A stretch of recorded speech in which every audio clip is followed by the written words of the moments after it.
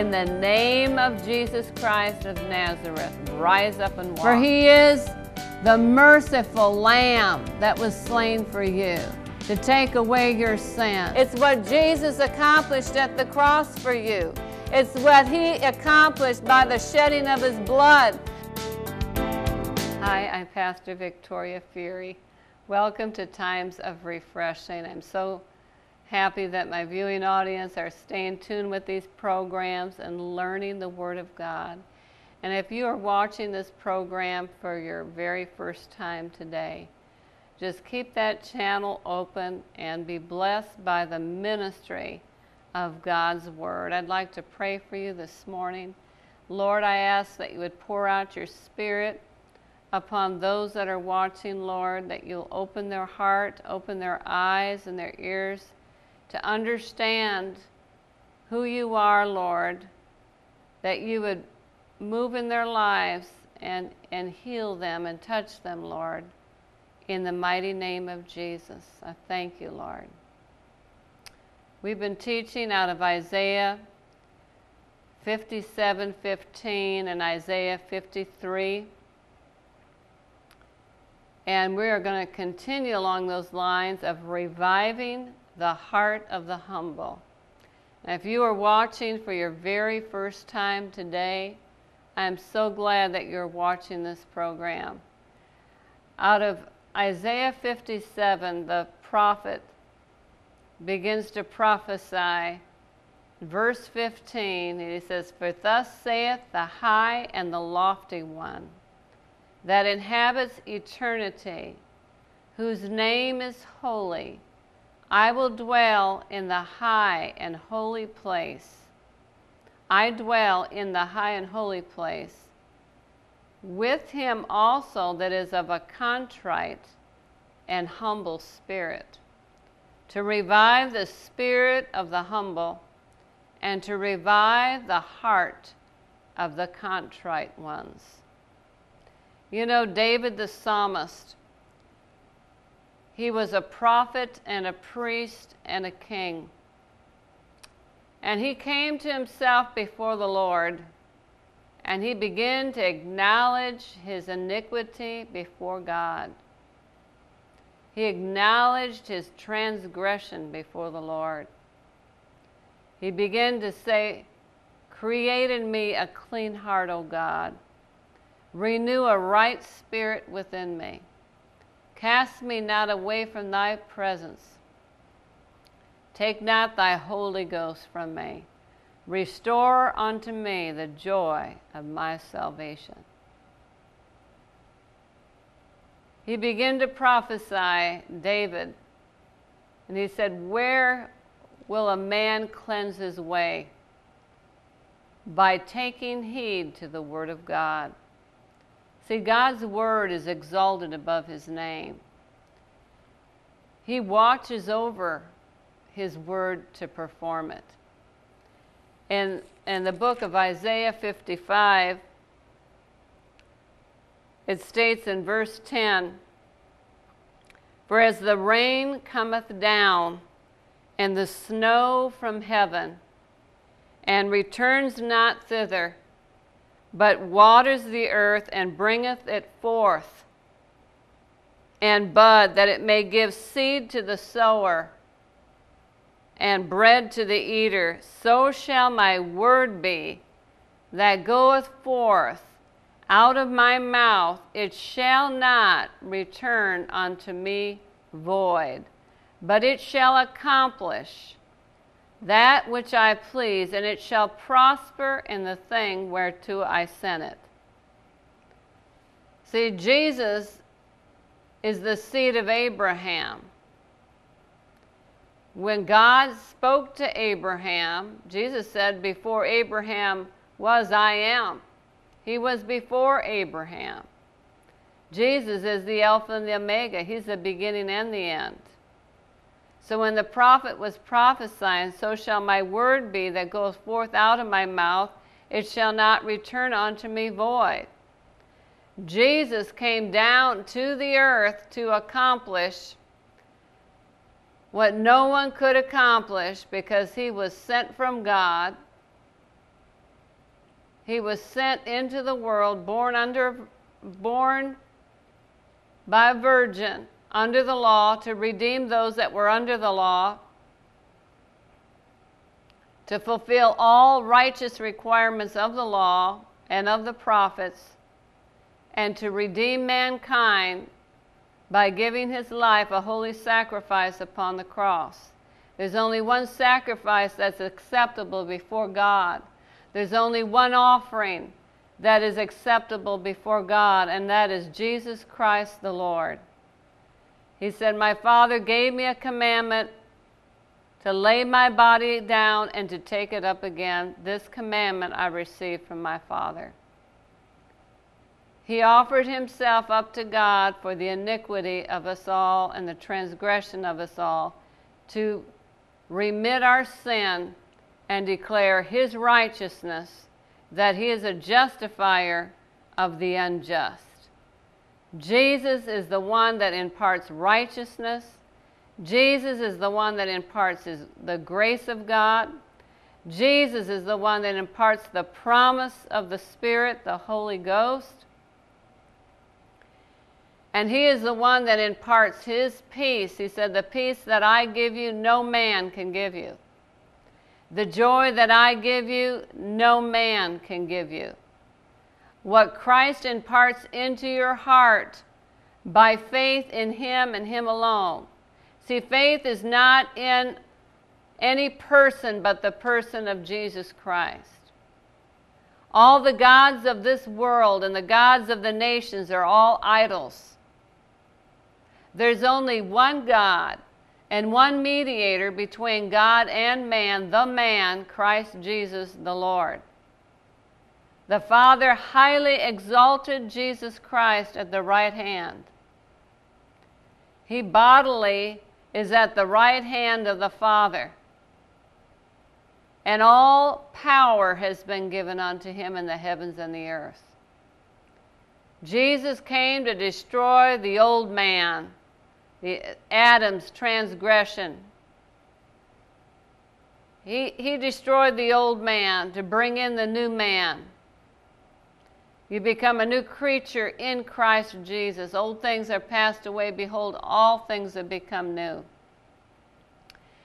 Your heart is changed. Once it was darkened and you were alienated from the life of God, you were under the prince and the power of the air.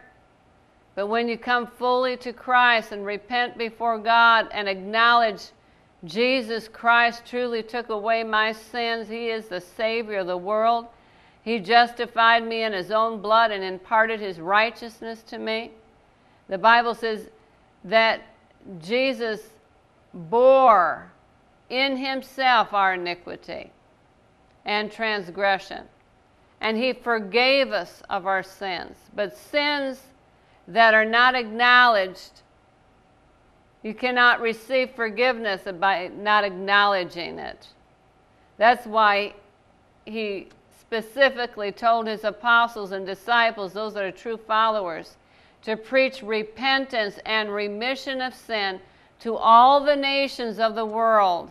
Then shall the end come. And this gospel of the kingdom shall be preached into all nations then shall the end come. He that believeth and is baptized shall be saved. He that believeth not shall be damned. Jesus said, I am the way, I am the truth, I am the life. No man can come to the Father but by me.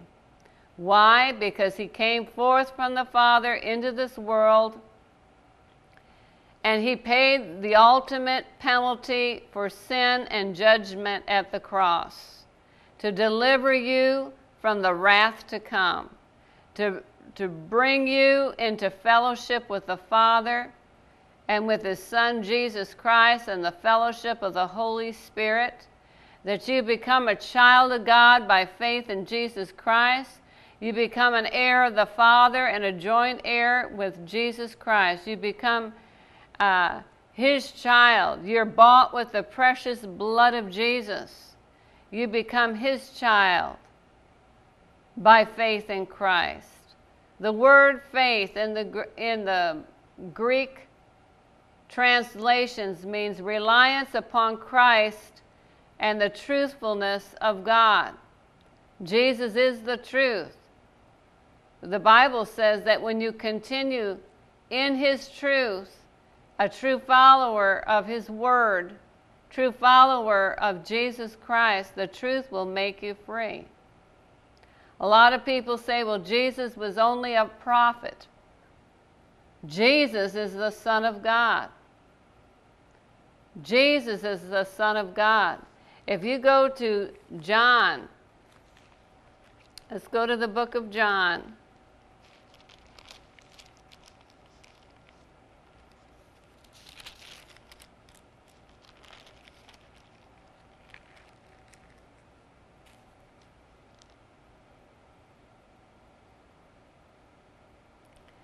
John chapter 5, verse 23 that all men should honor the Son even as they honor the Father. He that honors not the Son honors not the Father which hath sent him. Verse 24 Verily, verily, I say unto you, he that hears my word and believes on him that sent me hath everlasting life and shall not come into condemnation, but is passed from death unto life. Now if you go to 1 John 2:23 1 John 2:23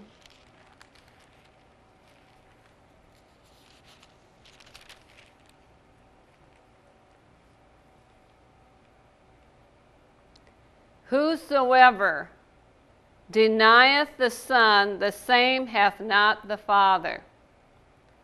But he that acknowledges the Son hath the Father also. Verse 24 of 1 John 2. Let that therefore abide in you, which you have heard from the beginning.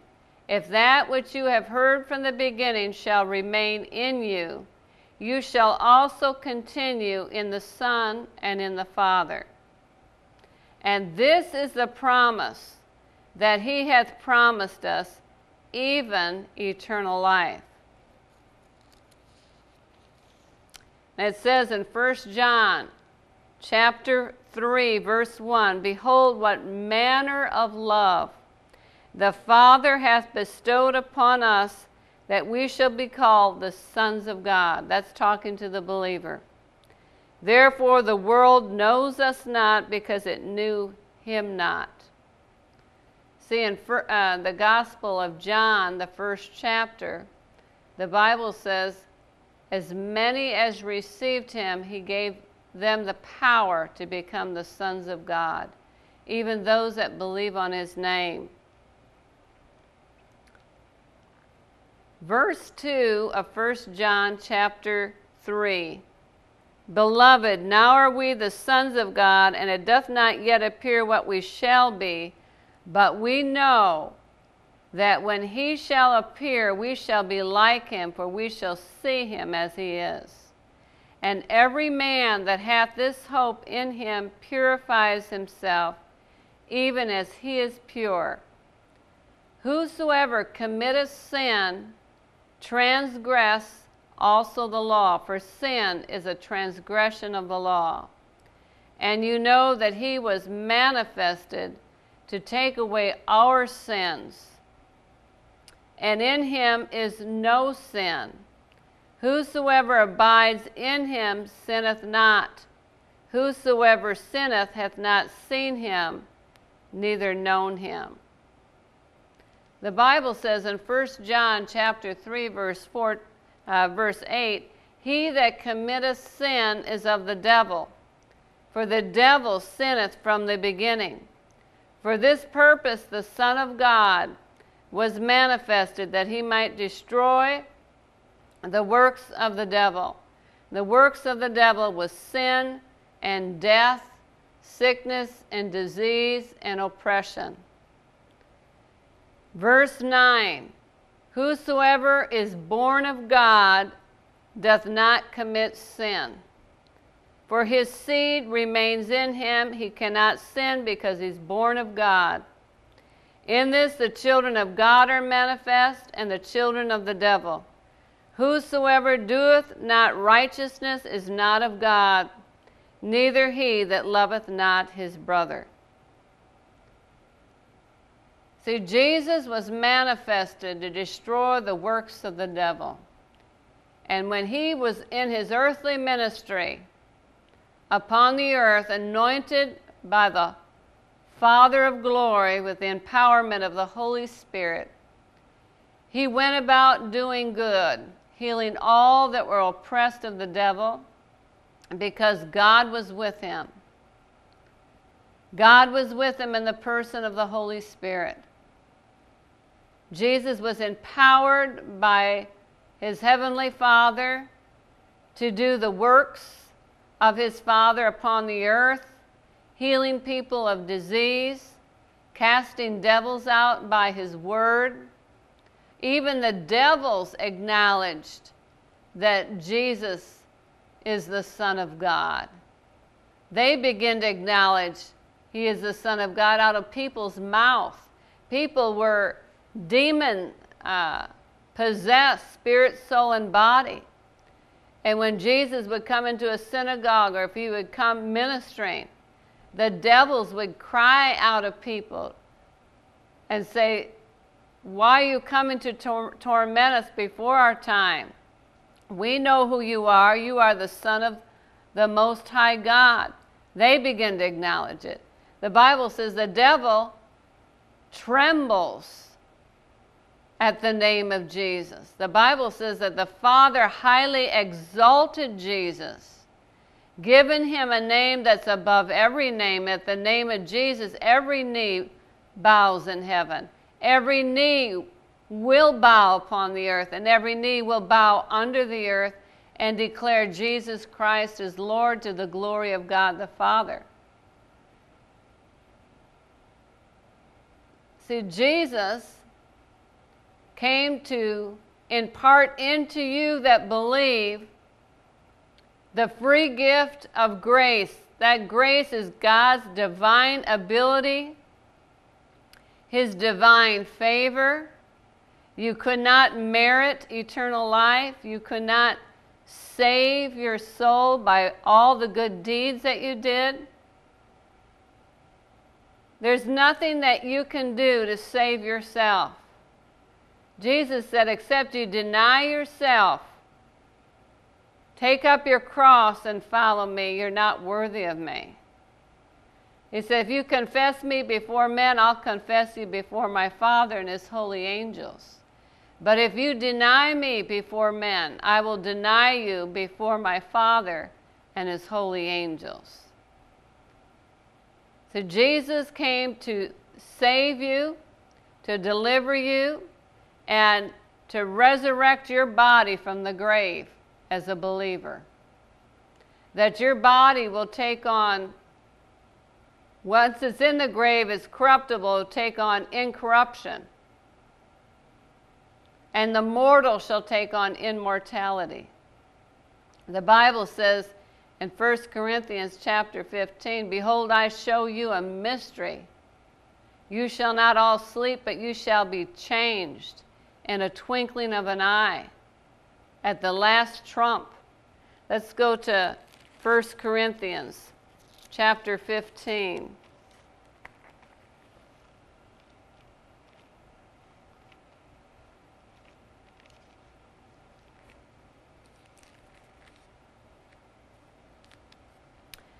First Corinthians chapter 15 verse 51 Behold, I show you a mystery.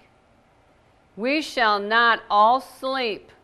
That word sleep means shall not all be uh, physically dead, but we shall be changed in a moment, in a twinkling of an eye, at the last trump. For the trump sh- trumpet shall sound, and the dead in Christ shall be raised incorruptible, and we shall be changed. For this corruptible shall put on incorruption, and this mortal shall put on immortality. So when this corruptible have put on incorruption, and this mortal shall have put on immortality, then shall be brought to pass the saying that it is written, Death is swallowed up in victory. Jesus said, This is a victory that overcometh the world, even our faith. Our faith is in Jesus Christ. The victory has been won 2,000 years ago. 2,000 years ago, it was won at the cross and the power of his resurrection. That's why God is calling all nations under heaven, all peoples of the earth, to repent before God and put their faith in Jesus Christ and Him alone. There's only one God, one mediator between God and man, the man, Christ Jesus the Lord. The Bible says that in the beginning was the Word, the Word was with God, and the Word was God. The same was in the beginning with God. And John 1:15 or 1:14, let's go there. John 1:14 and the word was made flesh. The word was God. God was made flesh. He was born of a virgin. He was born under the law to redeem those that were under the law. The Bible says the word was made flesh and dwelt among us, and we beheld his glory, the glory of the only begotten of the Father, full of grace and truth. Grace and truth came by Jesus Christ. The law came by Moses. The law gave a knowledge of sin. But it was all pointing to Christ. Jesus came to fulfill all the law. Everything that the prophets had spoken under the anointing of the Holy Spirit, Jesus came to fulfill he had to open up the scriptures even after his resurrection to his apostles and disciples. If we go back to Matthew, he had to open up all the scriptures to them and show them through scriptures all the law and the prophets. And they were pricked in their heart. They were pricked in their heart.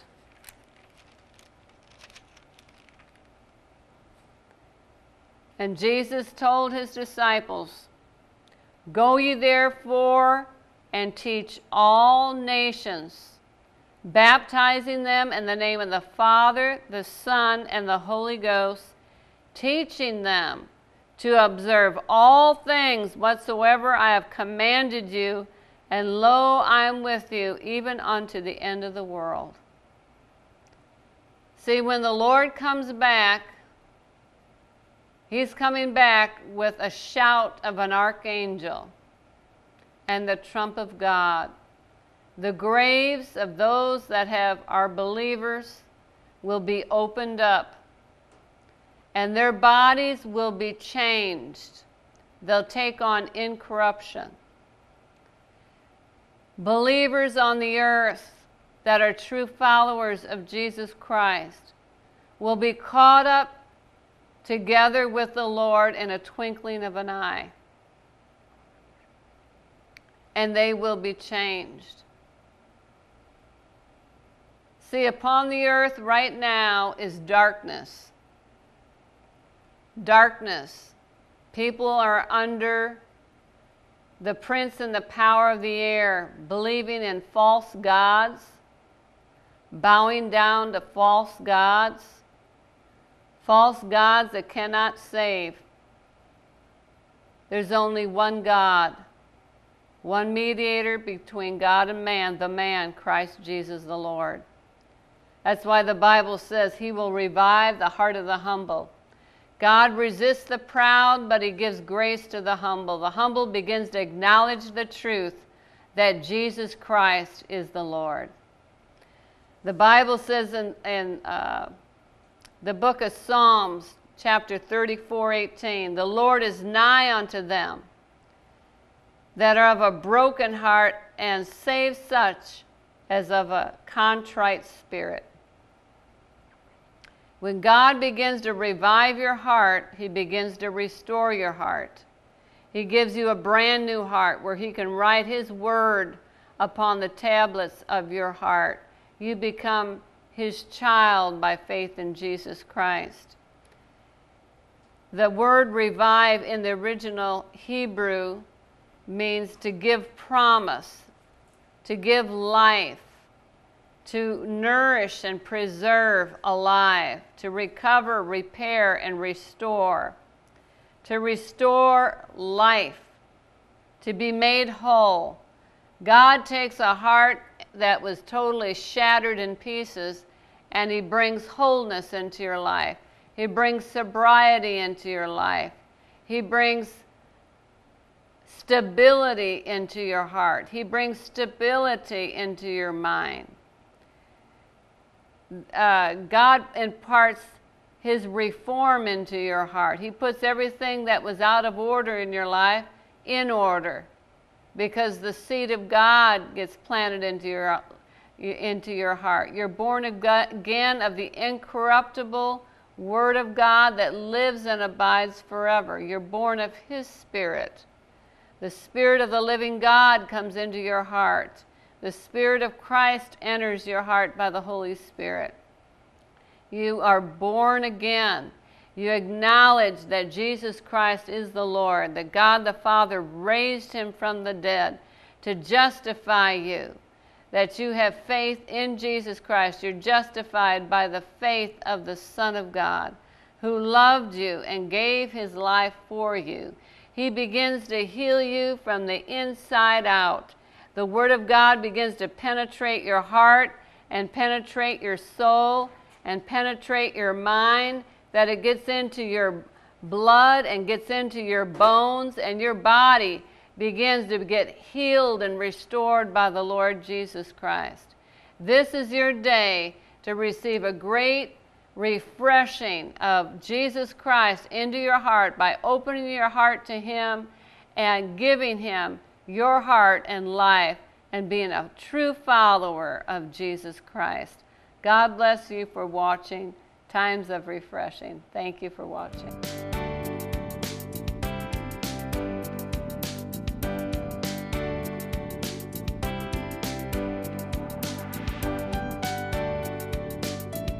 If you would like to buy a DVD of this program, please send $10 to KFXB TV, 744 Main Street, Dubuque, Iowa 52001. Please be sure to include the episode number on the screen.